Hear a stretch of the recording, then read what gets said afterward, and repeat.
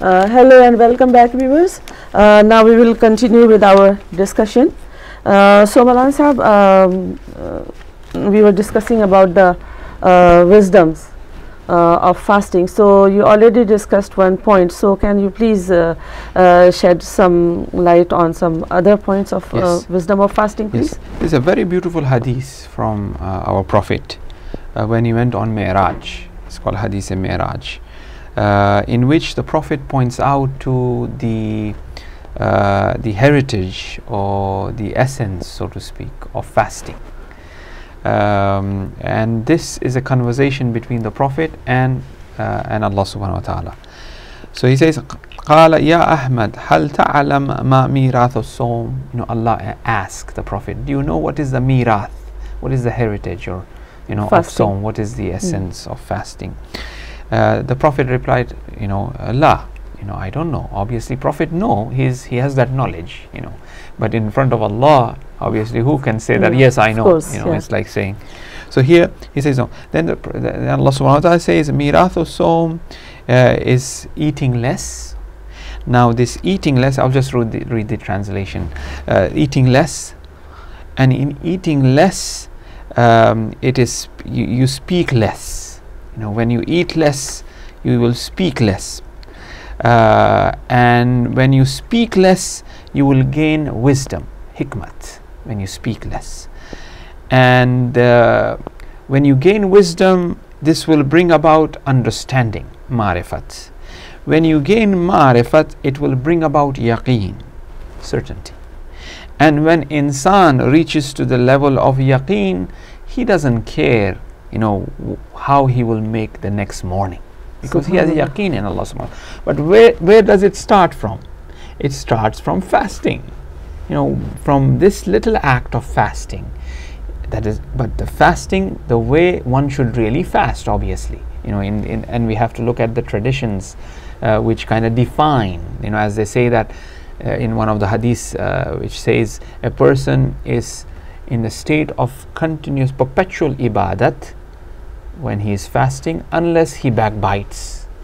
So when he backbites, his, you know, he is not doing ibadat. His fast is gone you know there's a very famous which uh, you know I will remind and for myself and uh, uh, always a reminder is good you know two ladies came to the two, two people came to the prophet and the prophet said you know you you vomit you throw up to these two person who came and said we are fasting. If we throw up obviously you know, it will go back and our rosa will become batil you know our fast will become batil. He said you vomited and when they vomit there was chunk of meat in their in their uh, in, in their vomit. So so they said by god allah we did not eat meat. You know what is this? He said this is the backbiting that you are doing. Because the quran says when you are backbiting it is as if eating the death flesh of your own brother. A person comes to the prophet you know the prophet says clean clean your teeth. It has meat is stuck in there. You know the, the man said i did not eat meat.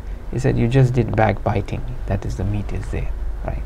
So a fast which is a true fast a true fast automatically you know brings that sukut you know that's a, so it, see how much it is connected fasting with silence. You know if a person for example speaks and he says wallah and he says that this is from rasulullah this is in the quran this is from the imam batil. No, no, the fast becomes batil. He cannot misinterpret, you know um, he cannot misquote you know the wordings of the prophet and the quran. It, so the fasting is there's some connection with fasting and speech so now i'm fasting i should not speak. There are different types of speaking. There's a type of speaking where i say wallah this happened for example. My fast is broken if it did not happen right? So there's a connection of speech and fasting mm-hmm. you see? So now the prophet says that with fasting he will speak less with speak less he will gain hikmat wisdom. And through hikmat through wisdom he will gain marifat.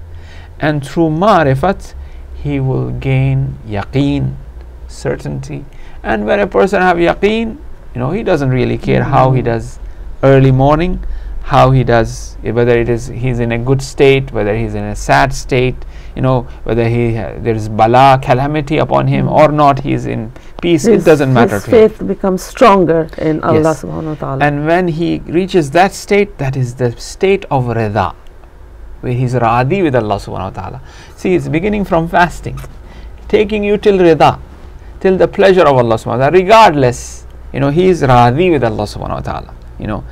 And then when he reaches to the state of rida, he will have, you know, thalath qisal, three qisal, three qualities in him, you know.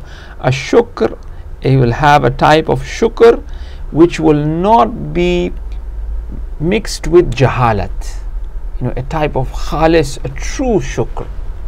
You know he will be always in the state of shukr you know without any jahalat. Meaning that when Jabir ibn Abdullah Ansari was a bit ill the fifth imam visits him and asks him oh Jabir in what state are you? He says alhamdulillah. Because he was ill and he just said alhamdulillah. Because he did not want to complain. You know we tend to complain a lot oh this little bit oh what is this you know this that that you know. Always in the state of alhamdulillah you know as we said you know oh hassan you know in the wasiyat of amirul mu'min compare we mentioned this earlier compare yourself to those who are lower to you in terms of the worldly affairs whether that be health maybe or whether that be wealth. And in terms of the manaviyat compare yourself to those who are the higher so that you always yearn to do more so three khasalat one is a shukr without jahalat. So when a person is doing shukr he is really doing shukr. When imam hussein is doing that shukr it is not for show off.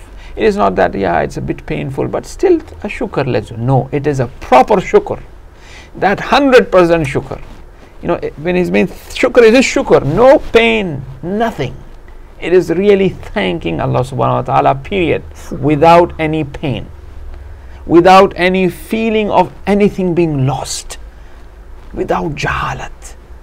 You know when a person gets that stage of rida and he will be given the second khislat of dhikr without any disturbance of forgetfulness. That means he will be always in the state of dhikr you know he will be always doing the zikr of Allah subhanahu wa ta'ala. He will never forget the zikr of Allah.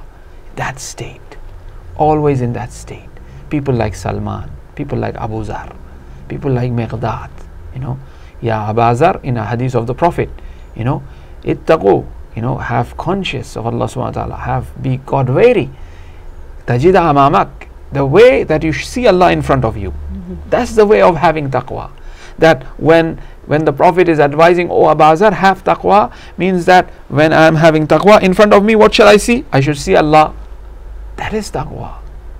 You know right in front of me there should be allah. Yes there is multiplicity. We are seeing things. But with these see, with, with these things we should see allah. What did amirul mu'minin said? He said i haven't seen a thing. Before it allah. After it allah. With it allah أينما تولوا فثم وجه الله that's what the Quran says وهو معكم أينما كنتم wherever you are you, with you is Allah subhanahu wa ta'ala the point is I am not seeing it I have hijab you know I remember Ayatollah Bahjat once I went to him when I was studying after Fajr prayer you know got the opportunity to speak to him May Allah bless his soul and increase in daraja and mahshur him with Ahl Bayt alayhimus salam Yeah, yeah. and uh, I said, you know, uh, when I was in America and I was actively involved in teaching Sunday school, you know, in in demonstrations, in going out there and tabligh, and you know, you're active there, Mhm. right? But now, you know, uh, I have come to home to study now. You know, here I open book, I study, I go back to school, you know, st- study a bit, go home, you know, have some food, go to sleep next morning. It's a routine, right? That, you know, I feel like I have distance from Allah subhanahu wa ta'ala. That's how I feel, you know. Uh, because I'm not that active, you know, Islam and Deen and teaching here, doing this, doing that, you know, always. So he said, you know, Allah is right there where He was. It is you who have distanced yourself. You know, Allah is aqrabu ilaykum min hablil warid, right? He's much closer to you than your own jugular vein. You know, So I, then I thought, yes, you know, Allah was right there. Know, it is something that I think that by doing this, for example, I'm thinking that I'm coming closer to Allah subhanahu wa ta'ala. Well, what I'm doing right now, that is also means of me to come closer to God. Allah is right there. You know, as in Dua Abu Hamza Thumali, we recite of Imam Sajjad mm-hmm. alayhi salam, highly recommended to be recited in the month of Ramadan. Uh, our asatid, uh, our teachers used to advise us that as it's a very long dua, they used to say, tell us recite dua Abu Hamza in parts. In parts you know, yes. before Sahri, Mm. you know, read a bit, stop where, you know, uh, make a ma- make a mark. Then next day continue from there, continue from there, so that you finish it. It doesn't Mhm. matter, you know, that you, you know, uh, finish it in ten days, but make sure that you read every day. In the dua Abu Hamza Thumali, uh, very unique and special dua comes from Abu Hamza Thumali, uh, who was known to be the Salman of the time. Initially, he was uh, a rahzan, as they say. He was a thief. He would rob people who would go on the motorway. He would rob them, he would steal them. But the nafas, the breath of Imam Masoom, changed his taqdeer. Subhanallah. That's what we recite in the in the in the ziyarat of Rajabiyah. That O Imam, the change of taqdeer is in your hands. Just breathe on us. of course. Just a nafas. Nafas of a masoom from a person who is at the side of Yazid becomes hur. Just the nafas of a imam, right? So tafweed wa ta'weed, that's the jumla. Those are the sentence. Those are the words used in the ziyarat rajabiyah in Mafatiul Jina that is to be recited. That ziyarat.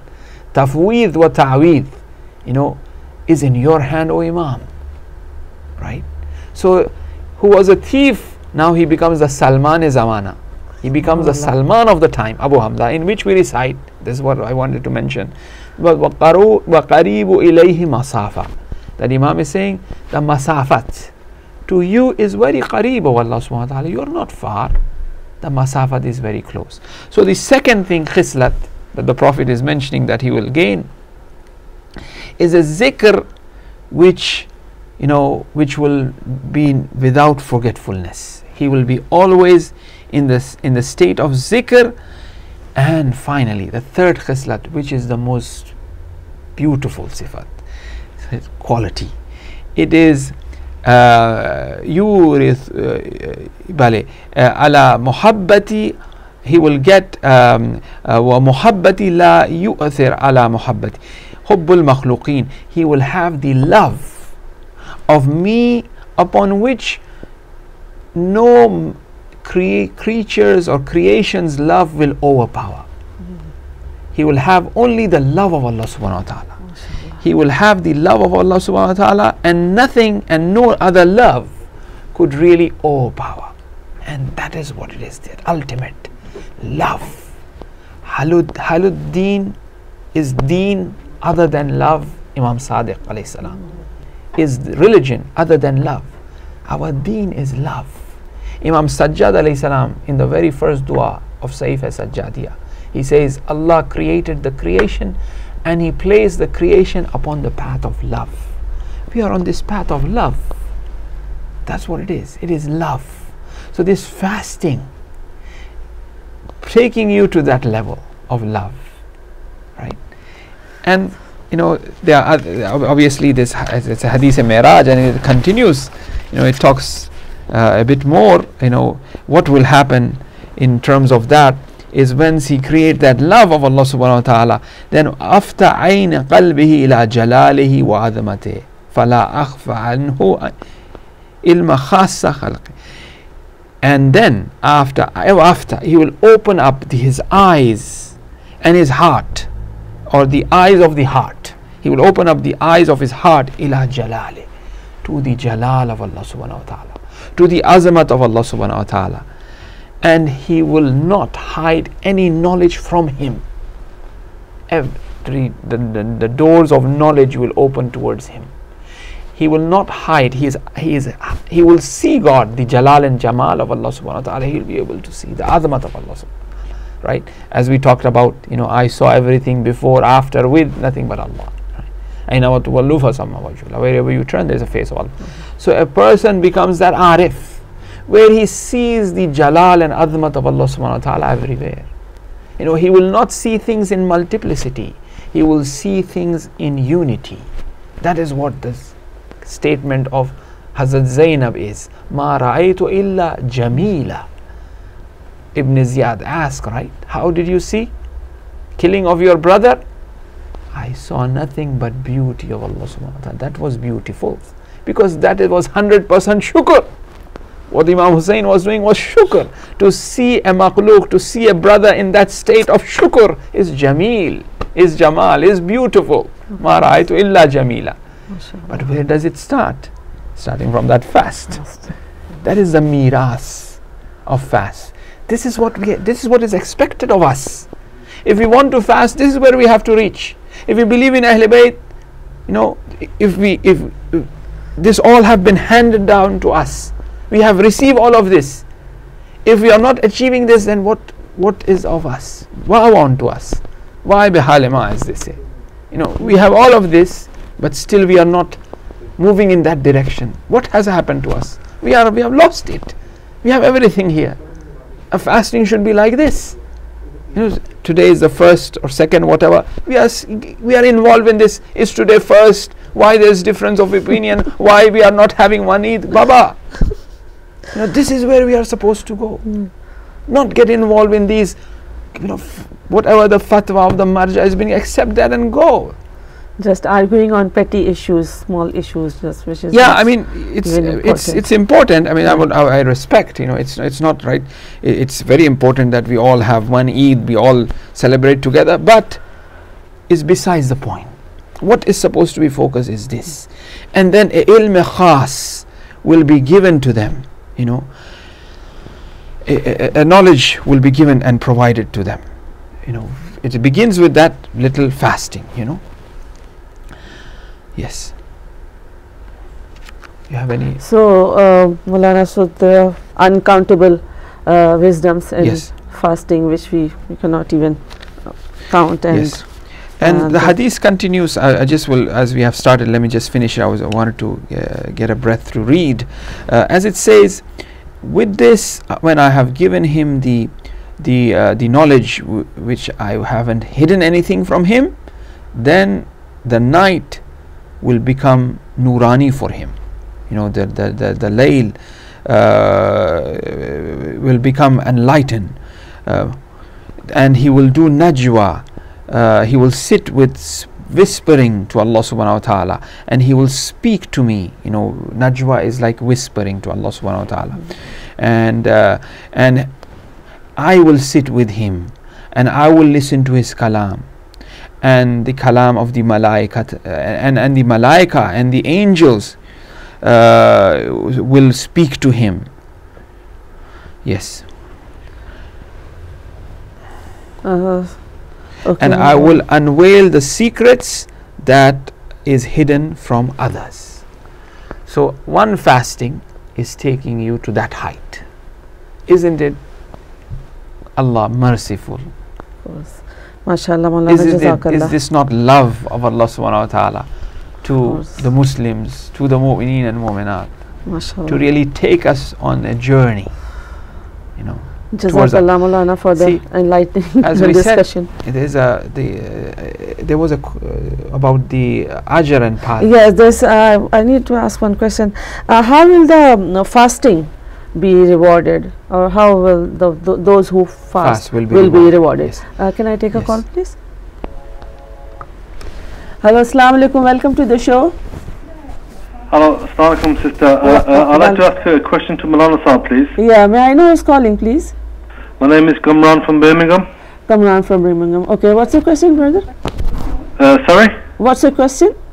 Uh, the, the question is, uh, sister, um, I made the intention of fasting last night, uh, but I, at the same time, suffer from depression and I'm on medication. Uh, I couldn't get no sleep at all last night, and I had to break the fast uh, uh, during the night um, after Sehri uh, because uh, my depression was getting to me, uh, and I was suffering from anxiety, and I had, take, I had to take my medication.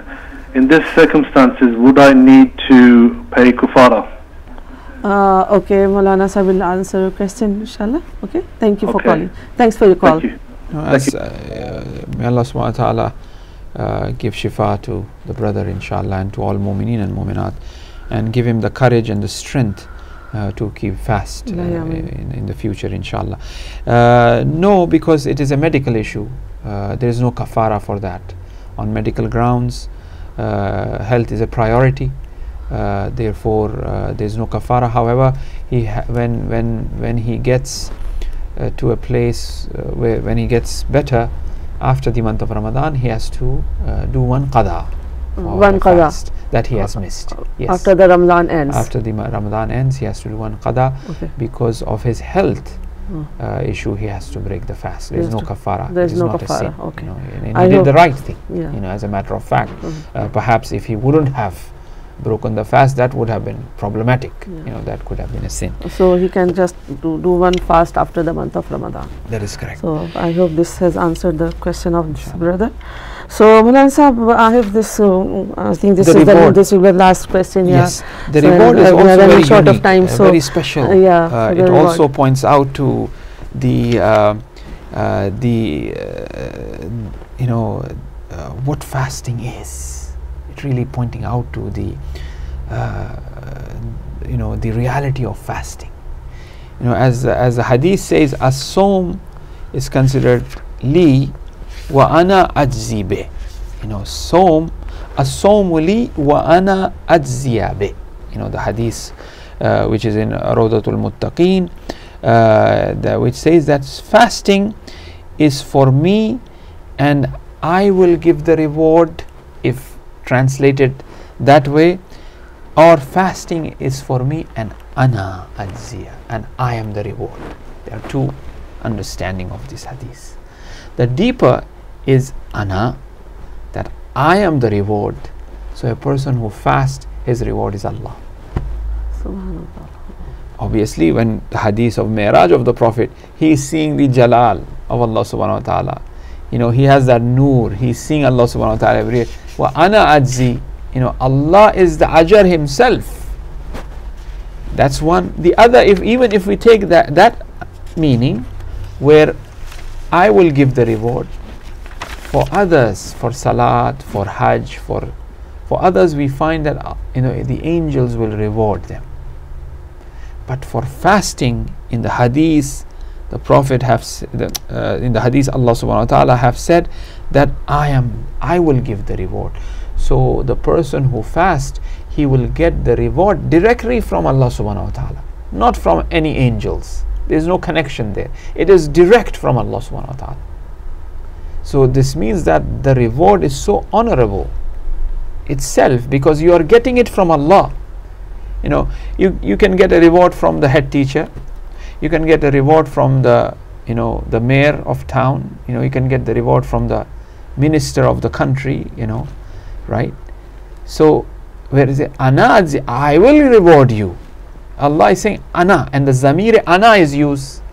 It's not said Allah who is Ghafoor, Allah who is Rahim, you know, he you know he is the rewarder of that. He says ana is mutakallim, you know, wahda is ana, you know, I will reward Allah you. Himself is Allah himself is saying that I will reward. the one who is The deeper meaning where it says ana is that I am the reward of the fast.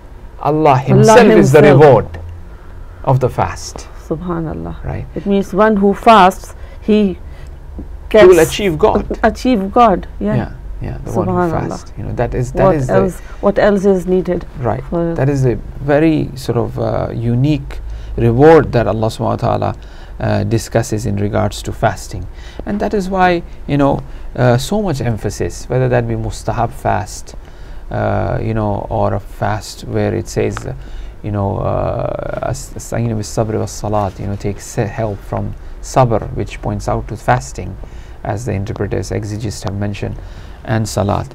So we hope and pray to Allah subhanahu wa ta'ala that He, uh, with His mercy, as He Himself has invited us, as He Himself is uh, providing us all the ni'mat, that He give us the ni'mat of understanding the fast. Yeah. He gave, give us the ni'mat of the fast of true individuals, righteous ones who fast.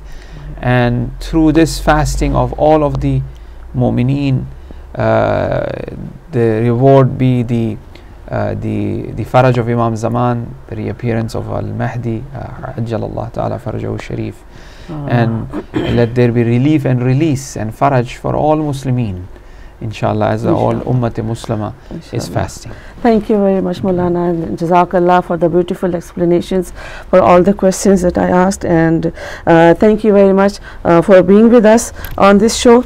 Uh, Jazakallah. And uh, viewers, with this discussion, we come to the end of today's program. Uh, don't forget to watch us uh, next week, same time, same day. Uh, till then, take care. Khuda Hafiz. Wassalamu alaikum wa rahmatullahi wa barakatuh.